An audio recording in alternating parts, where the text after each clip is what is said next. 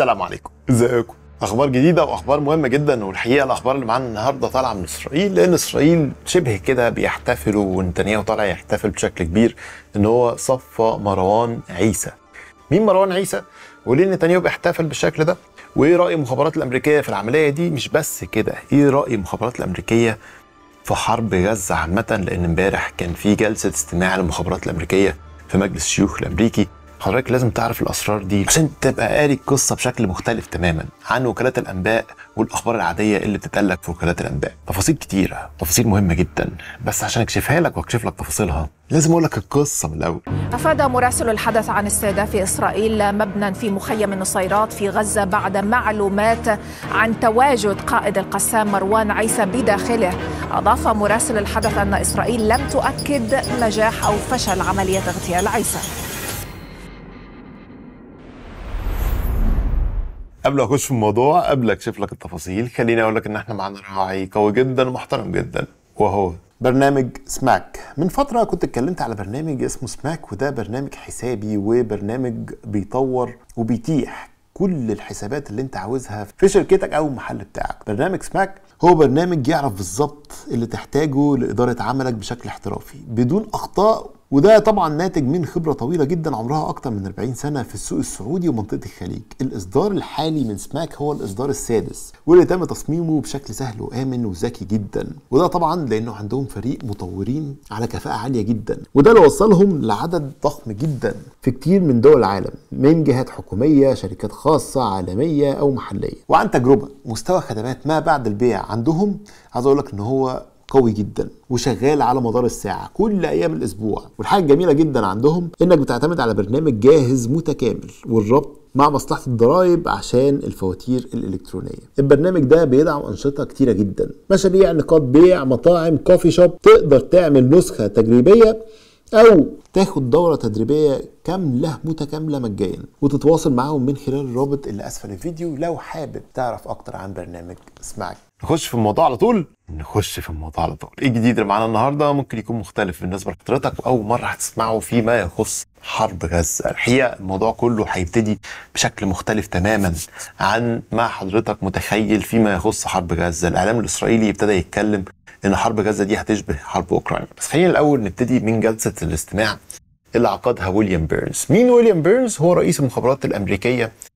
الراجل عمل 8 زيارات للشرق الأوسط. تخيل؟ الراجل ده على فكرة ويليام بيرنز ده من أكفأ الناس في الإدارة الأمريكية. وده أنا بالنسبة لي هو كنز الإدارة الأمريكية ومن أفضل الاختيارات اللي جو بايدن اختارهم في إدارته للبيت الأبيض. راجل على كفاءة عالية جدا. الراجل ده ما بيتحركش بمنتهى السهولة. برغم كده جه الشرق الأوسط 8 مرات. وعقد أكتر من اجتماع بشكل سري وزار دول كتيرة جدا. وكان أهم الزيارات دي كلها هي الزيارات اللي بيعقدها مع نتنياهو. والزيارات اللي بيعقدها مع رئيس المخابرات الاسرائيليه عشان يحاول يوصل لاتفاق. الحقيقة الموضوع ده معقد جدا. ليه معقد؟ لأن أمريكا رمت بثقلها في حرب غزة مش عارفه توقف خالص. أمريكا عملت كل حاجة لإيقاف الحرب دي والوصول لهدنة وبرضه الصهاينة واقفين في الموضوع. فامبارح كان في جلسة للاستماع في مجلس الشيوخ بيعملوا الجلسة دي ليه؟ بص يا سيدي دلوقتي في تقرير سنوي بيطلع من المخابرات الأمريكية، المخابرات الأمريكية بتطلع مجلس الشيوخ ومجلس النواب لرؤيتها في الأحداث العالمية. فمجلس الشيوخ امبارح كان في الجلسة دي ويليام بيرنز وزي ما حضرتك شايف في الصورة ويليام بيرنز وأعضاء المخابرات الأمريكية سواء بقى ال CIA أو المخابرات الحربية كل لفيف المخابرات القادة بتوعهم قاعدين بيعرضوا التقرير بتاعهم وبيتلقوا الأسئلة بتاعه مجلس النواب. هي كان في أسئلة غريبة شوية. اول اسئله كانت إيه تقييم المخابرات الأمريكية لإسرائيل والوضع في إسرائيل؟ قالوا لهم والله إحنا شايفين نتنياهو مش هيقعد. يعني ده تقرير المخابرات الأمريكية وهم شايفين إن نتنياهو وحزبه اللي هو الحزب اليمين المتطرف أو الكنيست ده شايفين إن هم مش هيفضلوا كتير في السلطة بالعكس هم مهددين بشدة بترك منصبهم أو إن هو تقوم عليهم مظاهرات حاشدة في البلاد أكتر ما هي قايمة دلوقتي تؤدي لرحيل نتنياهو هو وحزبه وحكومته وقالوا إن الأيام القادمة مش في صالح نتنياهو. ده حاجة. الحاجة الثانية أسئلة النواب كانت موجهة بشدة حوالين صفقة للرهائن. الحقيقة تقييم المخابرات الأمريكية إن إسرائيل معصلجة شوية في الصفقة دي. حماس ممكن تكون عندها قابلية سنة لعقد صفقة الرهائن بس إسرائيل هي ال- آه، يعني مش عاوز الصفقة دي. I don't think anybody can guarantee success, What I think you can guarantee is that the alternatives are worse. For innocent civilians in Gaza who are suffering under desperate conditions, uh, for the hostages and their families um, who are suffering also under very desperate conditions, and for all of us. So we're going to keep at this. في وسط الجلسه ما هي قايمه عاوز أقول لحضرتك ان تم مقاطعتها كالعاده في كل الاحداث الامريكيه حاليا في متظاهرين حاولوا يقطعوا الجلسه وحاولوا ان هم آه، ينادوا باسم آه، غزه وسيس فاير والكلام ده كله Stop arming Israel. Stop sending weapons to Israel. Israel is exactly the threat you are describing. They are blocking humanitarian aid. That is a war crime. We need a ceasefire now. Ceasefire now. ففي نائب اسمه كوتن كوتن ده مؤيد شرس لإسرائيل. فكوتن سأل ويليام بيرنز بعد ما آه، متظاهرة طلبت بوقف إطلاق النار. كوتن آه، سأل آه، ويليام بيرنز قال له إيه رأيك في كلام المتظاهرين ده؟ أنت متعاطف مع آرائهم ولا مش متعاطف مع آرائهم؟ هو عاوز يسمع إن ويليام بيرنز بيقول أنا عاوز وقف إطلاق نار. هي ويليام بيرنز بيقول ان الخسائر كبيره جدا في اسرائيل والخسائر كبيره جدا في غزه والخسائر البشريه في غزه آه، تحتم ان إحنا يجب ان إحنا نصل لصفقه Is Israel exterminating the Palestinian people? Um, Senator, all I can say is, you know, what I said before. I think there are a lot of innocent civilians in Gaza who are uh, in desperate conditions right now. I think there are hostages and their families who are also in uh, desperate circumstances as well. And I think I've learned a long time ago in crises like this that you have to find a practical goal and pursue it relentlessly. كلام أو رد كان مقنع جدا بس أنا أخطر نقطة واقف قدامها حاجة واحدة بس إن آه، قادة المخابرات الأمريكية طلعوا قالوا إن إسرائيل هتعاني للوصول لهدفها في القضاء على حماس دي حاجة مش هتحصل التقرير بتاع المخابرات الأمريكية ده ده زبدة الزبدة. يعني ده بقى خلاصة الخلاصة يا باشا. المخابرات الأمريكية بعد خمس أشهر من القتال في غزة شايفين إن إسرائيل مش هتعرف تقضي على حماس. خالص. والموضوع ده عشان يحصل عاوز له سنوات. هم قالوا كده امبارح في التقرير. قال لك عاوزين سنوات. طيب ده يفرق معاك في إيه؟ يفرق معاك إن إسرائيل لو فضلت مكملة زي ما هي دلوقتي الحرب دي مش هتنتهي دلوقتي. ممكن تفضل سنين. طيب السنين دي تحتم عليك إيه؟ تحتم عليك السيناريو بتاع أوكرانيا. على فكرة في كاتب النهارده في جريده هارتس بيقول لك الظاهر كده إسرائيل دخلت على السيناريو الأوكراني. ليه؟ اللي هي حرب آه، بدون نهاية. أوكرانيا بقى لها سنتين بتحارب ومش عارفة توصل لنهاية. وكل ما تشوف إنها هتوصل لنهاية ما بتطلعش إن دي نهاية. فالكاتب بيقول لك إيه؟ بيقول لك على فكرة إحنا قدام تشابه كبير جدا بين إسرائيل وأوكرانيا برغم اختلاف القوة. يعني أوكرانيا المفروض هي الطرف الأضعف قصاد روسيا إنما إسرائيل في حرب غزة هي الطرف الأقوى. برغم كده الاثنين متشابهين. قال لك متشابهين في إيه؟ قال لك لو خدت بالك أوكرانيا كل شوية يطلعوك بيانات كاذبة. يعني كل شوية يقول لك إحنا قتلنا ألف عسكري روسي. ما يكونش حاجة حصلت. يقول لك إحنا دمرنا طيارات وصواريخ وبتاع. بيانات آه، بيحصل فيها اكزاجريشن شوية أو آه، تضخيم في أعداد أو الأرقام اللي بتطلع في البيانات العسكرية الأوكرانية. قال لك بالظبط ده اللي بيحصل في إسرائيل. اسرائيل تطلع تقول لك إحنا قتلنا 12000 من بتوع حماس أو 13000 تطلع المخابرات الامريكية تقول لك ولا نص الرقم ده. يعني شايف؟ ولا نص الرقم ده. حماس أصلا تقول لك على فكرة كل اللي ماتوا 6000 فده يدل ليك على التضارب في البيانات آه، الإعلامية. تاني حاجة لازم تعرف إن الطرفين سواء أوكرانيا سواء إسرائيل الاثنين معتمدين على المعونة العسكرية الأمريكية. وامسك بقى في الحتة دي عشان حتة قوية جدا. دلوقتي أنا امبارح قلت لحضرتك ان رئيس المخابرات الأمريكية في نفس اللجنة برضه. طلع قال إن الذخيرة بتاعت أوكرانيا بتخلص يا جماعة. ولو الكونجرس ما بعتش أو ما وافقش على زيادة الدعم العسكري لأوكرانيا أوكرانيا تخسر الحرب. يعني إحنا بنتكلم على أمر يعني إيه شبه عقلاني. أوكرانيا تخسر الحرب. Uh, lies a much grimmer future. Uh, Ukraine is likely to lose ground and probably significant, significant ground in 2024. Um, uh, I saw, you know, in the Battle of Abdivka, which, you know, in which, which forced a rushed withdrawal of Ukrainian forces just a couple of days before I was in Kiev on this last visit, um, the consequences of that. You know, one senior Ukrainian partner described what happened to me. He said that, you know, our men fought as long and as hard as they could. We ran out of ammunition, and the Russians just kept coming. فاسرائيل دلوقتي عندها نفس المشكلة لأن جريده بوليتيكو طلعت تقول لك إن الرئيس الأمريكي جو بايدن خلاص بقى سيبك بقى من آه، الخلافات مع نتنياهو وسيبك بقى إن العلاقات بين نتنياهو وجو بايدن بتبعد أكتر وأكتر. لا جو بايدن قال والكلام ده على عهدة جريده بوليتيكو جو بايدن قال لو إسرائيل دخلت رفح هيفرض قيود على تدفق الأسلحة لاسرائيل ده وفقا لأربع مصادر من آه، داخل الإدارة الأمريكية وصلت ليهم بوليتيكو أربع مصادر وهنا مختلف عن اكسيس اكسيس قالت لك مصدرين. لا هنا بنتكلم على أربع مصادر. في نوع من أنواع التأكيد إن جو بايدن يعني هيفرض فعلا قيود.